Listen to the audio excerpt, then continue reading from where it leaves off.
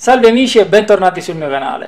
Oggi in questo video parlerò del nuovo disegno di legge che prevede eh, una riforma al codice della strada. Toccherò sette punti, i sette punti eh, che verranno mh, mm, sicuramente riformati, ma prima di cominciare vi chiedo di iscrivervi al canale, di lasciare un like e soprattutto fatemi sapere cosa ne pensate del video con un commento.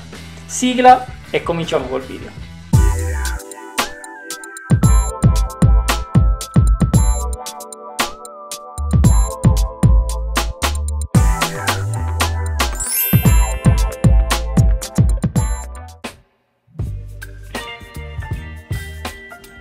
Forse la più grande novità del disegno di legge appena varato dal governo è quello appunto che attiene sia che siano droghe leggere o droghe pesanti, comunque agli stupefacenti in generale. Fino a ieri non bastava essere positivi al test rapido della droga per incorrere nelle sanzioni, ma era necessario un altro tipo di controllo, e cioè quello che dava poi la prova dell'effettiva alterazione psicofisica. Quindi chi risultava positivo perché ad esempio si era fatto qualche canna o una canna comunque dei giorni prima, ma era in perfette condizioni psicomotorie, non rischiava nulla. La riforma invece va a stravolgere totalmente questo guanto di velluto e infatti con la nuova riforma al codice della strada saranno condannati tutti coloro che risulteranno positivi al test rapido, un po' come l'alcol test eh, per misurare lo stato di ubriachezza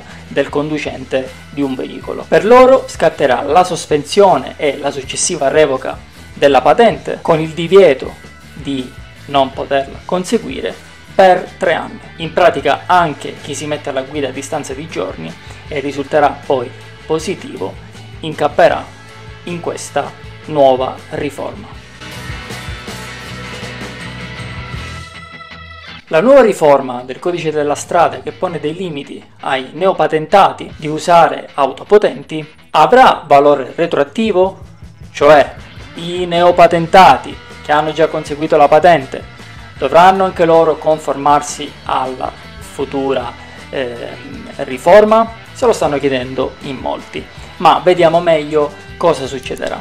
Oggi i titolari della categoria di patente B trascorso un anno possono portare qualsiasi tipo di veicolo, ovviamente rientrante nella categoria B, senza il limite dei 55 kW che vengono innalzati a 65 kW per i veicoli elettrici. La riforma però estende ai primi tre anni il divieto di guidare delle auto, dei veicoli che abbiano appunto dei kilowatt superiori ai 55 o 65, ma solo per quelle conseguite dalla data in vigore della riforma. Pertanto chi si sta prendendo la patente, io vi consiglierei di affrettarvi, anche se comunque passerà del tempo perché prima deve essere approvata eh, dalle, dalle Camere, comunque un iter molto lungo. Quindi tutti quelli che hanno già preso la patente non ricadono all'interno della riforma.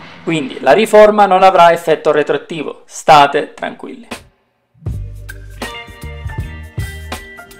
Per chi verrà colto a guidare con un tasso alcolemico superiore agli 0,80 grammi per litro, ma vi ricordo che il limite massimo è di 0,50 grammi per litro, oltre al procedimento penale, perché come vi ho anticipato nel video, pre- nel video precedente, chi ha un tasso alcolemico superiore a 0,80 diventa reato, quindi subirà un processo penale, ma scatterà il divieto di guidare anche se si è bevuti mezzo bicchierino di qualsiasi bevanda alcolica. In pratica bisognerà avere il tasso alcolemico a zero per potersi mettere alla guida e attualmente è invece previsto solamente per i neopatentati. In più queste persone dovranno installare a proprie spese all'interno della propria auto per almeno due anni l'alcol lock, un dispositivo che misura il tasso alcolemico all'interno del nostro corpo e se questo sarà superiore a zero non vi metterà in moto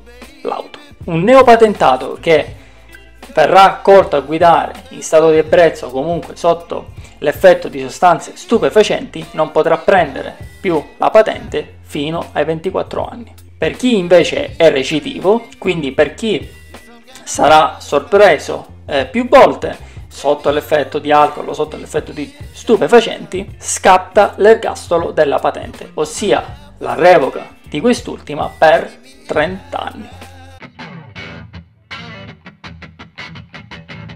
Oggi chi viene sorpreso a guidare con il cellulare in mano scatta una multa a partire da 165 euro fino a 650 euro e la detrazione di 5 punti sulla patente, ma la sospensione della patente scatta solo in caso di recidiva, ossia dopo la seconda violazione nell'arco di due anni. Da adesso in poi invece ci sarà la sospensione della patente immediatamente ed è quello che prevede la nuova riforma del codice della strada. E per quanto tempo? 7 giorni di sospensione per chi ha più di 20 punti, 15 giorni di sospensione invece per chi è sotto quota 10 punti. La nuova riforma del codice della strada ha previsto inoltre una tutela ancora più importante nei confronti dei ciclisti. Infatti questi non possono essere superati dai veicoli se non c'è uno spazio fra il veicolo il ciclista di almeno 1,50 m, ma nella pratica sostanzialmente non verrà assolutamente multato il conducente che passa a eh, meno di un metro e mezzo di distanza, anche perché il vigile, ad esempio, non ha gli, stu- gli strumenti adatti per misurare la distanza. Quindi scatterà questa norma nel caso di incidente e lì poi sarà un perito, un tecnico eh, abilitato a stabilire le distanze. La pacchia finalmente per i monopattini. La nuova legge infatti prevederà che questi benedetti monopattini non potranno circolare contromano come oggi ad esempio previsto per le biciclette Inoltre è stato previsto eh, che verranno e dovranno essere dotati di targa e di un tagliandino per l'assicurazione che non è assolutamente possibile trasportare da un monopattino ad un altro. Ma soprattutto è bene che vi dotiate di un casco perché questo è obbligatorio anche per i maggiorenni.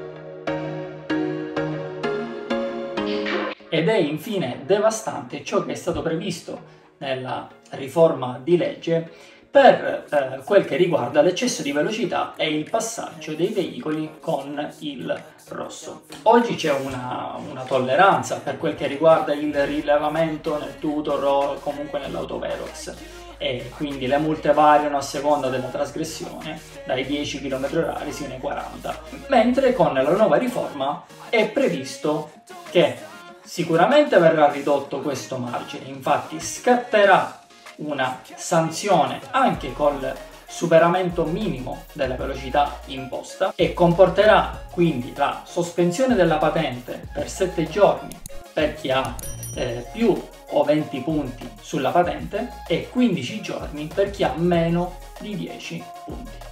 Quelle che vi ho appena fatto vedere in questo video non sono ancora norme di legge, ma dovranno essere approvate appunto, come vi dicevo, dal Parlamento e potranno subire anche delle modifiche.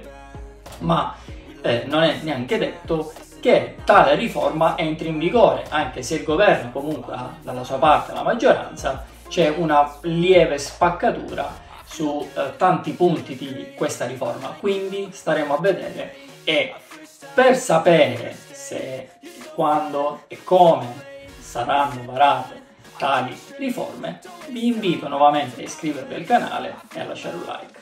Ciao!